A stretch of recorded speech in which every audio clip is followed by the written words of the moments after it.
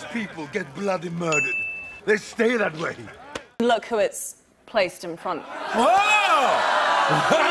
Emilia! Amelia Clark. What, Well, say okay, so you? here's the truth. Conleth, okay, who plays Varys, who's sitting next to me in that scene, uh, he pulls me aside and he's like, Mila, I've got to tell you something. The coffee cup was mine. He admitted. It was his. It was Conleth's coffee cup. He said so. He's like, I think it was. I'm sorry, darling. I didn't want to say anything because it seemed, you know, the heat was very much on you. And I was like, what? It's a trick.